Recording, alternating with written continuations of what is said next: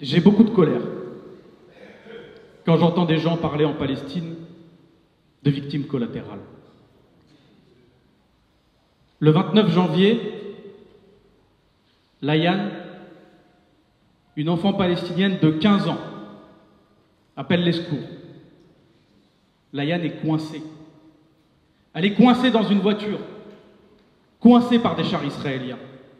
Elle appelle, elle appelle, et le monde entier, parce que c'était enregistré, entend au téléphone ces dernières paroles. Et le monde entier l'entend crier et s'éteindre sous le déluge métallique des balles israéliennes.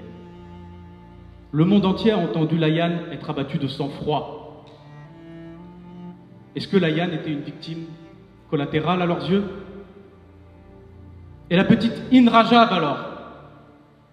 Cet enfant de 6 ans, coincé dans la même voiture, coincé parmi les cadavres de six membres de sa famille, coincé pendant trois heures par les chars israéliens. Nous aussi, on a l'enregistrement de cet enfant qui appelle à l'aide désespérément, six ans, et qui finira elle aussi assassinée de sang-froid par l'armée israélienne. Alors, est-ce que cette petite, elle était une victime collatérale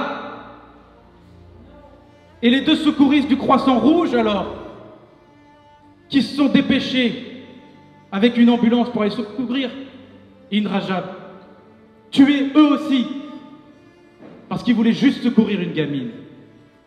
Est-ce que c'est ça qu'ils appellent une victime collatérale? Et le petit Adam, 9 ans, assassiné par l'armée israélienne en Cisjordanie.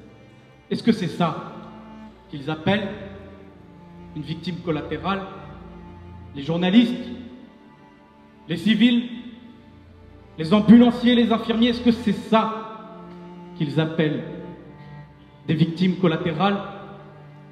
Et même dans ce cas, combien il leur faut de victimes collatérales pour se dire que c'est assez du carnage?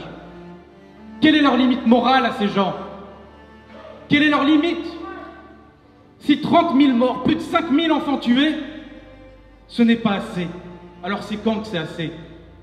Pour dire stop. Stop au carnage. Stop au génocide. Quand c'est que c'est assez? Pour dire cesser le feu. Quand est-ce que c'est assez? Avant de perdre ce qu'il y a d'humain en nous Parce qu'à chaque gamin qui rend son dernier souffle, c'est un peu de notre humanité à nous qui s'évapore.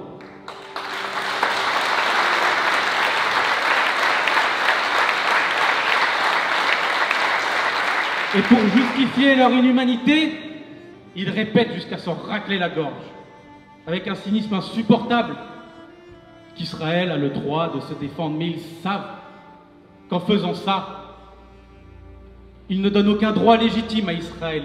Ils lui confèrent juste un permis de tuer et un permis de tuer des innocents. Ils savent qu'ils soutiennent des pulsions de vengeance et de mort.